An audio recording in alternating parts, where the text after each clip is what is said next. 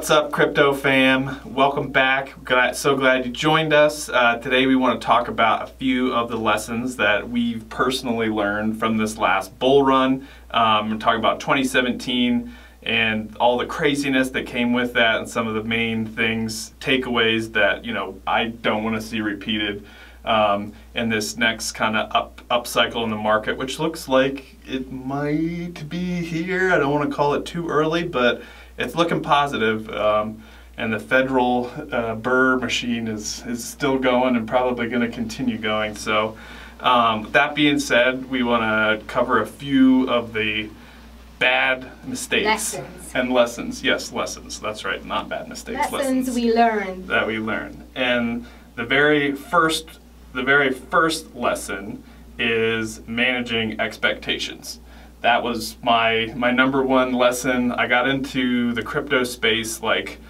I mean, I'd heard about it, you know, 2013, 2014, but I didn't really commit to it until kind of late 2016 and early 2017. And then there was that whole year of kind of running up. It was a great time to, to get into it. And I thought that, you know, there is no end in sight. This thing's just going to keep going up. It's going to take over the world.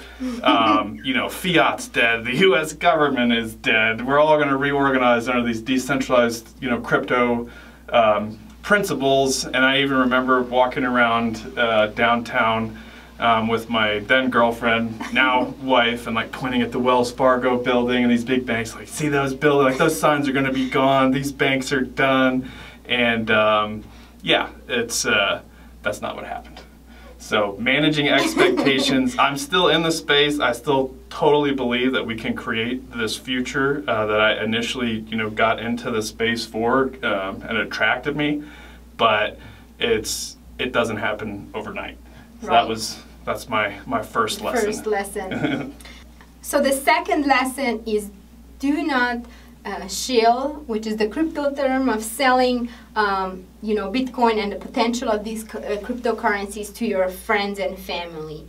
See, markets go up and then they they go down, and what you don't want ha- to happen is, um, you know, you you get everybody excited and all your friends and your uncle and everybody buys into Bitcoin and then Bitcoin price will crash and then you have this really uncomfortable Thanksgiving dinner.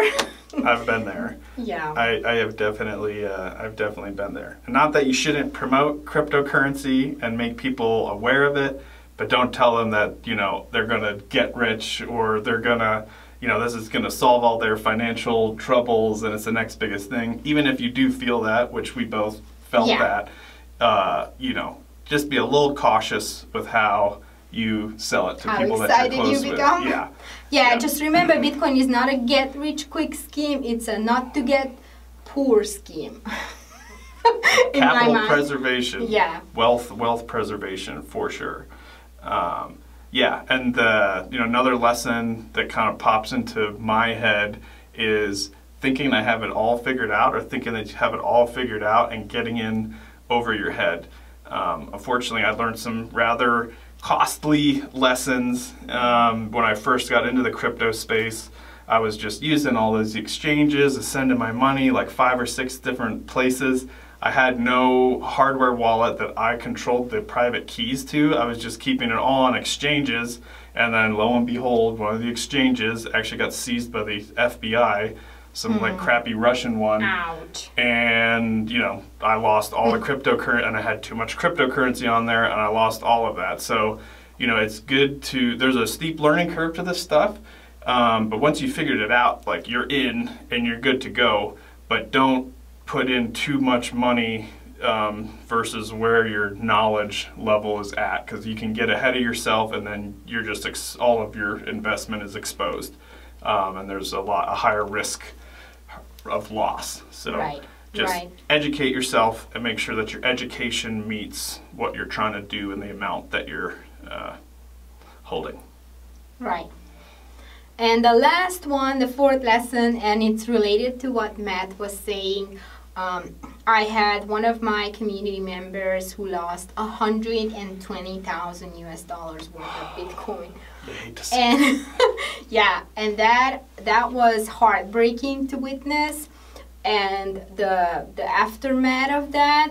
And I would just like to warn newcomers not to scare you away, but please make sure you know that you use the best cybersecurity uh, practices and you you you store your cryptocurrency um, at a hardware wallet. And part of part of this tragic incident um, was the reason why we got inspired and we created our own little um, uh, course on, on, teaching you uh, how to store and how to buy uh, Bitcoin the right way and um, we wanted we wanted to create something that was super super accessible to anyone um, to make sure that everybody who's new to this space um, doesn't basically won't lose their money.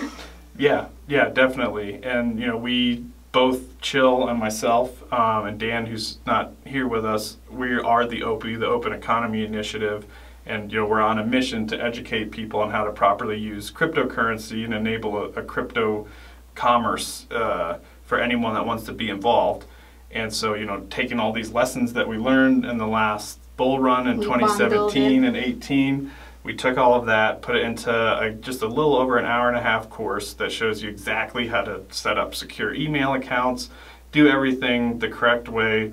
Um, so that you don't have to worry about some of these mistakes um, that are that are out there and that a lot of people make. Help you get over the learning learning curve. So, uh, yeah. So hope you enjoyed and let's create the open economy we all deserve. Yay!